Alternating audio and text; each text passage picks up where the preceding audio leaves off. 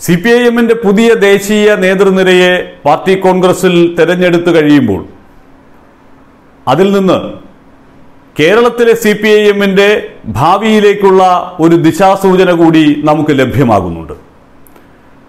Polit ബ്യൂറോയിലേക്ക് എത്തിയ A Vijayaraghavan കേന്ദ്ര കമ്മിറ്റിയിലേക്ക് എത്തിയ പി രാജീവും കെ എൻ ബാലഗോപാലും അതോടൊപ്പം വനിതാ പ്രാതിനിധ്യമായി സി എസ് സുജാതയും പി സതീദേവിയും.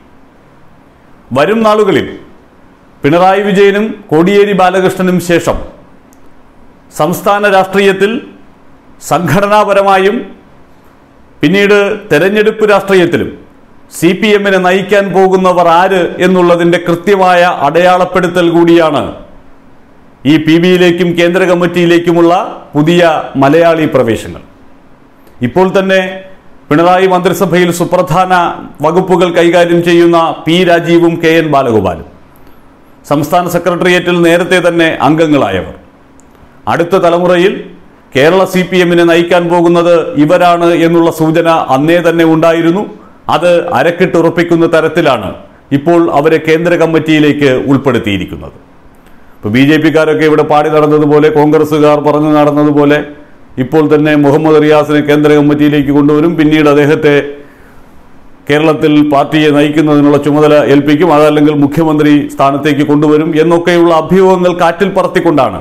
അതൊന്നുമല്ല സി പി എം സംഘടനാപരമായി ആലോചിക്കുന്നത് എന്നുള്ള കൃത്യമായ അടയാളപ്പെടുത്തൽ നൽകിക്കൊണ്ടാണ്. വിജയരാഘവൻ പൊളിറ്റ് ബ്യൂറോയിലേക്ക് എത്തുന്നതും പി രാജീവും കെ എൻ ബാലഗോപാലും കേന്ദ്ര കമ്മിറ്റിയിലേക്ക് എത്തുന്നതും. അപ്പോൾ അത് വളരെ കൃത്യമായി അടയാളപ്പെടുത്തുന്നു. സി പി എം ഇപ്പോൾ നിഷ്കർഷിച്ചിട്ടുള്ള രണ്ടു ടേം മത്സരം. അതോടൊപ്പം പ്രായപരിധി. ഇതൊക്കെ കൃത്യമായി പാലിച്ചുകൊണ്ട് ഇനിയുള്ള കാലത്ത് പാർട്ടിയെ നയിക്കുന്നതിന് പര്യാപ്തമായ ഒരു നിരയെ ഇപ്പോൾ തന്നെ കേരളീയ സമൂഹത്തിന് മുന്നിലേക്ക് അവതരിപ്പിച്ചിരിക്കുന്നു. അതായത് ഇനി ഇവരാണ് ആ സന്ദേശം കൃത്യമായി നൽകുന്നു. അവിടെ ഇനിയിപ്പോൾ ബി ജെ പിക്കാർക്കോ കോൺഗ്രസ്സുകാർക്കോ മുഹമ്മദ് റിയാസിനെ മുഖ്യമന്ത്രി ആക്കാനുള്ള പരിപാടികളാണ് പിണറായി വിജയൻ നടത്തുന്നത് എന്ന് പറയാനാകില്ല തന്നെ. അതാണ് ഏറ്റവും പ്രധാനപ്പെട്ട കാര്യം. അതിനുവേണ്ടിയാണ് ഇത് സൂചിപ്പിക്കുന്നത്.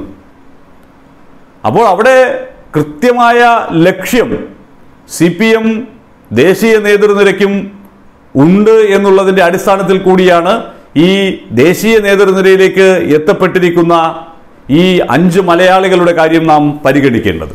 അവർ കുറേ പേർ സംഘടനാ രംഗത്തും മറ്റു ചിലർ തെരഞ്ഞെടുപ്പ് രാഷ്ട്രീയത്തിലൂടെ സർക്കാർ രൂപീകരണ വേളയിൽ അതിന്റെ പ്രധാനപ്പെട്ട ചുമതലകളിലേക്കും എത്തും എന്നുള്ളതാണ് ഈ പുതിയ മാറ്റങ്ങൾ കൊണ്ട് കേരളത്തിലെ സി പി എമ്മിന് കൂടി സംഭവിക്കാൻ പോകുന്ന മാറ്റം എന്ന് നമുക്ക് ബോധ്യപ്പെടുത്തി തരുന്നുണ്ട്.